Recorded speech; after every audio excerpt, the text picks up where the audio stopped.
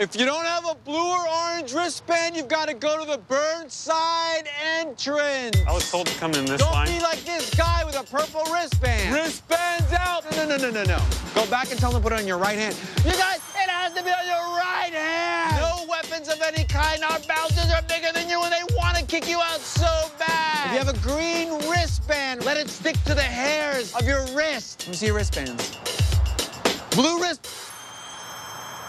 That is for the dance tank. Don't talk to me. I just follow behind everyone else really slow. Come on. I have a black and white wristband and the yellow. Okay, make a path. This is VIP.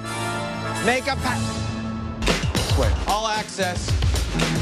I can't really see from here. What's that area up there? You cannot go upstairs if you don't have one of these green and white wristbands. What are you talking to? You. That's if a king and queen show up. The king and queen are going to see a show in Portland. Your Highness, right this way.